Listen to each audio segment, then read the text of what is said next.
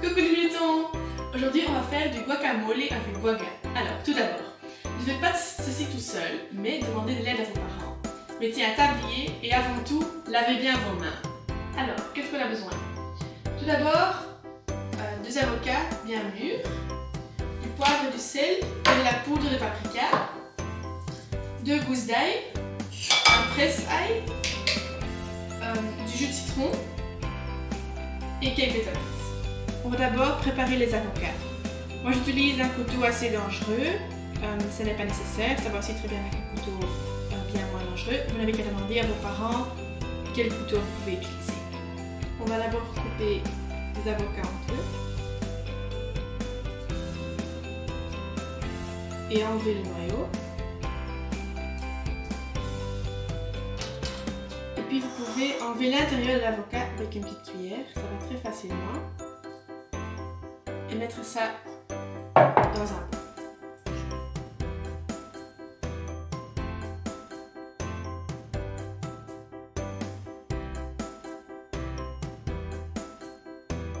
Quand les deux avocats sont dans votre bol, vous allez les écraser avec une fourchette.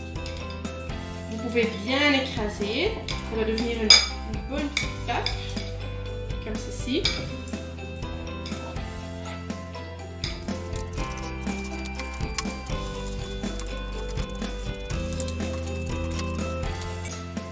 Alors, quand c'est une bonne petite tape, on va ajouter du jus de citron pour que ça deviendra moins vite brun.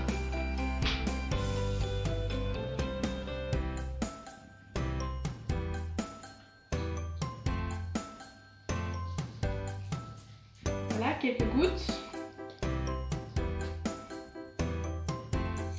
Après ça, on mélange bien. Et on peut mettre notre bol de côté. Va commencer à préparer l'ail. D'abord enlever la petite peau.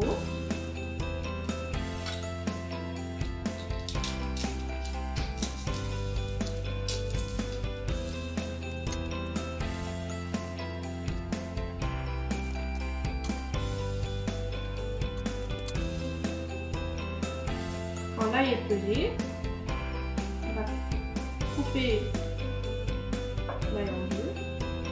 Maintenant, on va mettre les petits bouts d'ail dans le presse-ail.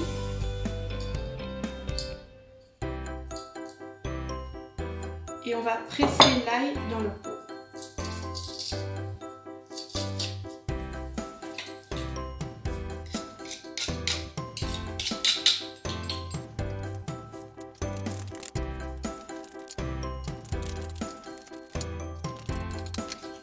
On va bien mélanger l'ail dans la mixture verte que l'ail soit bien éparpillé. Si vous n'avez pas de presse-ail à la maison, vous pouvez aussi bien utiliser de l'ail en poudre. Maintenant, on va ajouter du poivre et du sel.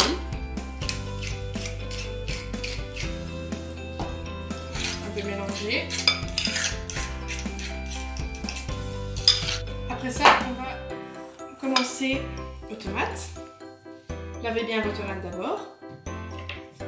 On va simplement les couper en petits bouts, en tout petits bouts.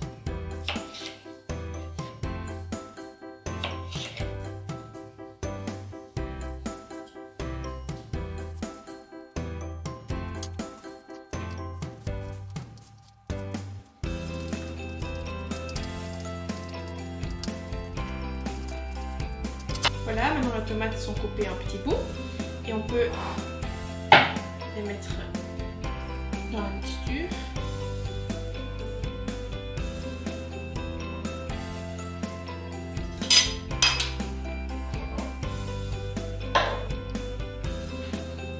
Et on va bien mélanger.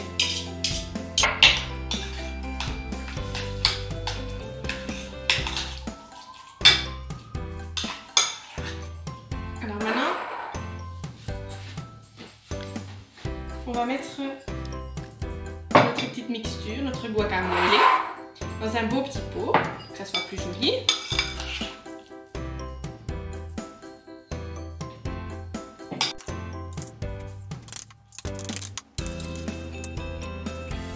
Voilà. Regardez comme c'est tout joli. Et maintenant, on va rajouter un petit peu de poudre de paprika au-dessus.